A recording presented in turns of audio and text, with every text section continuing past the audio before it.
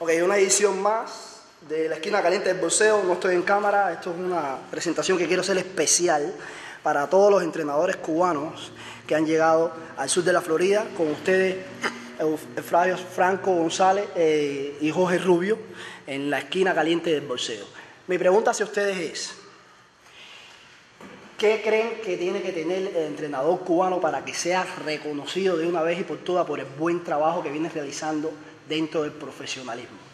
Bien, eh, en mi parte particularmente es eh, trabajar con deseo, cuando se viene de este país, es muy diferente del entrenador de Cuba, el entrenador que nos vive aquí, como tuvo la experiencia de, trabajar en Cuba como entrenador, ¿verdad? ha tenido sus resultados, ha tenido sus éxitos, su gloria.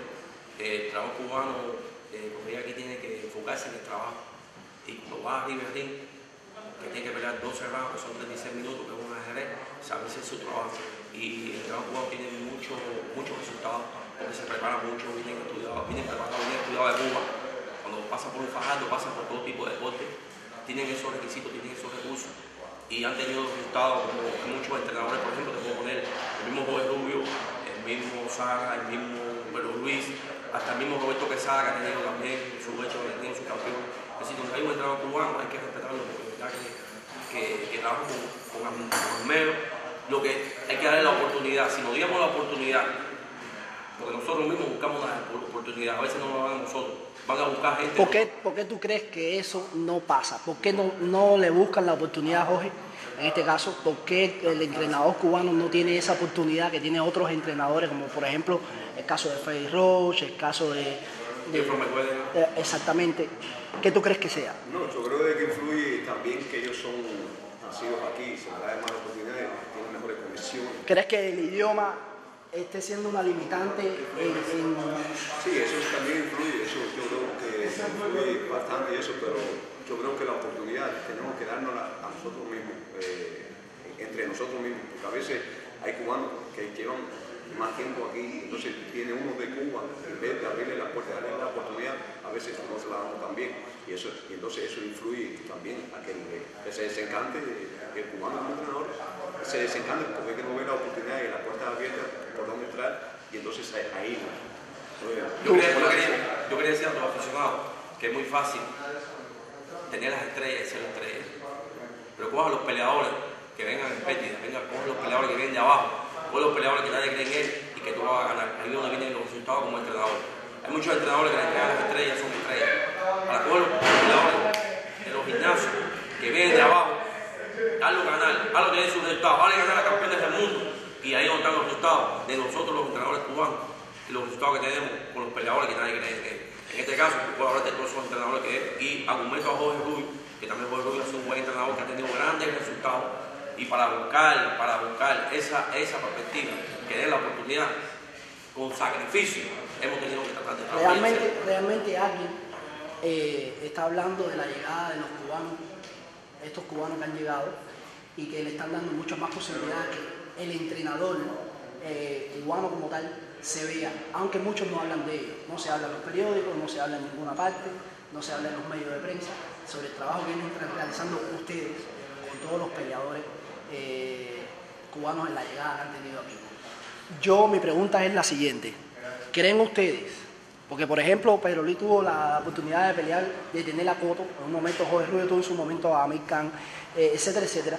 ¿Creen ustedes que esta llegada y esta avanzada de peleadores cubanos le está dando a ustedes más posibilidad eh, de, darse a conocer? ¿Creen que ustedes que en el futuro el, el, el entrenador cubano va a tener esa finalmente ese reconocimiento por parte de la afición del mundo entero en cuanto al buen trabajo que realizan? Yo creo que, que, que, que yo buena iniciativa. Cuba siempre ha tenido la potencia en el deporte ¿no? desde la época ahora, de la época de antes de Quincho Chocolate, Avilán, de, no sé, de Pedro Manuel Rodríguez, de es decir, de peleadores, peleadores cubanos que de los tiempos antes, antes no soltado que es otra época, cada época tiene su época. Yo creo que cada tantos siglos van pasando épocas en el boxeo, en el boxeo moderno, el boxeo de tecnología, es diferente. Hoy es una época, uh, aquí en Miami, es una época del 93, yo hacía otros deportes, después está haciendo 28 para el boxeo, eh, hoy ha tenido más experiencia en como entrenador que viene de Cuba, yo me hice entrenador aquí, pero también he tenido mis resultados, he hecho campañas mundiales, he tenido de trabajar fuerte, pero al lado de todos esos entrenadores uno aprende, se la sabe todo, y es el mejor entrenador del mundo. Cada día que tú vas llevando el ring, cada pelea que tú vas haciendo, vas teniendo, teniendo experiencia, y esa experiencia son los resultados que uno va teniendo hoy en día. Yo creo que el cubano, yo creo que el cubano, aunque no haya sido entrenador en Cuba, tiene conocimiento porque desde chiquito está eh, mirando de lo que es el, deporte en común en Cuba. Entonces vas aprendiendo, entonces eres fanático, te gusta el, el boxeo, entonces y mirando a las grandes estrellas, el desarrollo tan avanzado de, de que hay en Cuba, tú vas a adquirir conocimiento también y tienes una noción de lo que es el boxeo, como es el caso de Eufrasio, como es el caso del Tigre, que, eh, Metemos otro deporte de combate, que, que, Desde karate, que eso. en, en, en kickboxing y eso, ¿no? y que han tenido un, un desarrollo aquí, se han arrimado a un buen árbol y han, han adquirido su experiencia Este- y, mira, y ahí están los resultados. el tener, el tener grandes peleadores eh, dentro de lo que es eh, eh, ser, ser entrenador y tener grandes peleadores dentro de, dentro de tu nómina, por decirlo de alguna manera, ¿creen ustedes dos que sería parte de lo, e- de lo que es la, el- el- la fama o, o el reconocimiento de- del entrenador en sí? Sí. Porque, por ejemplo, este, el caso de que Freddy Roach tiene prácticamente a, a toda la estelaridad de- del boxeo, de la élite, eh, ¿ustedes creen que realmente si un entrenador cubano, bueno, pero Luis lo puso de manifiesto con Coto, tenga dentro de su eso algún tipo de boxeador estelar, le daría realmente ese reconocimiento o en sí es el trabajo que realiza el entrenador cubano más que nada por toda la eh, estera eh, pasada de entrenamientos y de preparación que ha tenido? Bueno, mira, poner un ejemplo. En este caso, voy a poner el ejemplo de Jorge Rubio. Que vinimos a buscar entrenadores, cogimos a Jorge Rubio, fue con Jamaica, dio el nombre Jorge en Inglaterra. Yo participaba en Alemania, hice un campeón del mundo en el 2007. Fui a Alemania, estaba en Inglaterra y de los entrenadores cubanos, donde quiera que parte del mundo, está en Colombia, está en Panamá, siempre se habla. ¿Tienes reconocimiento? ¿Te sientes que has tenido reconocimiento? Claro, ¿Tu claro. trabajo se ha expandido? Claro, como no, porque hemos, hemos tenido resultados, que es lo más importante. O Jorge. ganas o pierdas son los resultados. Bueno, yo creo que con Amir Khan algo, mi rating cayó un poco, pero bueno, eh, eh, yo no me quedé ahí, yo, yo seguí mi trabajo con lo que tenía, con Amigo Santana, eh, Anthony Smith, el Manazo Carrá y otros muchachos que han ido adelante y entonces he hecho que, que porque hayan perdido una pelea, eso no quiere decir que, no, no, que fue un mal trabajo, sino por, por mi parte fue un mal trabajo y yo estoy consciente y hice mi trabajo. Ahora, lo que sucedió en Inglaterra solo lo sé yo. lo que pasó. Pero bueno, yo sigo con los peleadores míos y, y vamos a ver si es verdad que el malo, el mal entrenador fui yo o él fue el mal funcionario. Muy, muy importante ese dato para el fanático, porque el fanático ha estado, disculpe, eh, muy, muy importante ese dato, porque el fanático ha estado muy eh, eh, necesitado de saber qué realmente pasó en esa pelea. Eh, no vamos a hablar ahora mismo de ese tema, creo que lo voy a dejar para una entrevista. Fue mi corto, fueron seis Pero, semanas. exactamente, eh, no.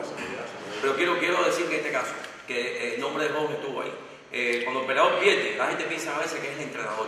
No el entrenador, pero la gente no sabe el sacrificio que hacen los entrenadores. Y más nosotros, los entrenadores cubanos, que tenemos que luchar duro para poder tener los resultados. Eh, cuando un peleador pierde, no es culpa del entrenador a veces, es culpa a veces del equipo que está atrás Sí, también. porque que sube allá arriba es él. Jorge hace su Yo trabajo, indiqué a él, yo le indiqué yo hago mi trabajo. El plan de trabajo ahora. Exactamente. Él hizo eh, el plan a su manera. A su manera. Porque mucho tiempo que ya él llevaba con otros entrenadores. Y lo mío no fue suficiente para que él se concretara a ser terrorismo. Ok, ¿qué sería lo mejor que le puede pasar a un entrenador de boxeo en el profesionalismo? Bien, que, no, la- que el boxeador no te goya, que el boxeador eh, a veces se va en blanco, como me pasó a mí con, mismo con Bray Presco ganando la pelea. Bray Presco no, no vio la esquina en un momento como estamos ganando la pelea. Eso es lo más importante. Eh, eh, para mí ese es el fraude más duro que puede tener un entrenador, que tú te, que tú te sacrifiques, que tú luches para sacarlo adelante, para ganar la pelea y que te pase, que te pase eh, esa derrota que te pasó por ganando la pelea. Eso es bien, bien, bien duro y bien difícil cuando tú tienes la táctica de pelea hecha. Cuando un boxeador va a la esquina, tiene el resultado como hizo con, con Cotto, hizo buen trabajo, eh, se movió mucho a la espalda del peleador y él tuvo el resultado. Jorge. No, yo creo eso que estoy reafirmando de lo que él dice, que uno entrena, como es el entrenador cubano que es enfocado en su trabajo, a veces es más por el, el triunfo que por el dinero, y entonces ponemos en nuestro alma, en nuestro corazón, y queremos hacer eh, el trabajo que es fuerte, pero bueno, si el, el que sube arriba al ring es el boxeador y a veces no escucha lo que uno dice, entonces uno, wow, Uno, uno carga la culpa, el entrenador siempre recibe la culpa cuando pierde mira, el la pelea, boxeador. me que interrumpo, solo la pelea, toda la culpa venía para mí en la pelea. Cuando se dio cuenta y analizaron la pelea, vieron que todo el tiempo estaba trabajando. Lo que estaba diciendo era lo correcto lo que decía la televisión, que lo está diciendo. O sea, no hay más nada, o sea, no hay nada más malo que lo que le pasa al entrenador es que realmente hace su trabajo y cuando gana el bolseador no lo reconocen y cuando pierde el bolseador recarga. Fuego para el entrenador.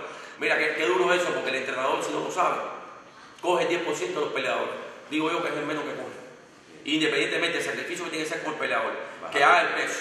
Que si tiene problemas con la esposa, pues físicamente está bien. Parte del entrenamiento que si no que vino y quiere buscarlo a su casa. El Todos los problemas personales los cogemos nosotros, dándole consejos. Y que si el hombre está mal porque tiene problemas en la familia, todos esos problemas, las cortadas, saber que si lo corta, coger la cortada, confiar en la gente que tiene en la esquina para coger la cortada, tener un equipo de Y a confianza. veces lo suficiente es sparring. Yo no lo voy aquí en Miami, entonces hay que irse fuera, que es donde están. Realmente se trabaja en Miami, como me acabas de plantear, José Rubio, esto es muy importante. ¿Crees tú que Miami será algún día a- aquello que ustedes quisieran que sea dentro del boxeo? yo creo que sí, hay el talento y hay eso. Lo que hace que falta es de lo que decimos. Una, una de las cosas que yo he visto es que las promociones aquí son muy Son escasas, pobres, son muy son escasas. pobres, ¿Qué ustedes creen de eso como entrenadores? Bueno, mira, cuando tú tienes las condiciones económicas alrededor tuyo, eh, puedes entrenar en cualquier parte. Miami se presta para entrenar aquí porque es prima. Aquí viene a entrenar, aquí entrenó Coto, aquí entrenó eh, Pena Hockey, yo, aquí va a entrenar todo el mundo porque tiene lo- la economía atrás que lo apoya. Si tienes esa economía, olvídate, ahí aparece Juan Tío, aparece todo. Bueno, esto es un programa muy especial que he querido hacer con ustedes dos. Yo le doy las gracias a Jorge Rubio y a Franco, como lo conoce todo el mundo. Las gracias por haber dedicado estos 10, 15 minutos que hemos tenido juntos. Y nada, les deseo lo mejor desde la esquina caliente del bolseo.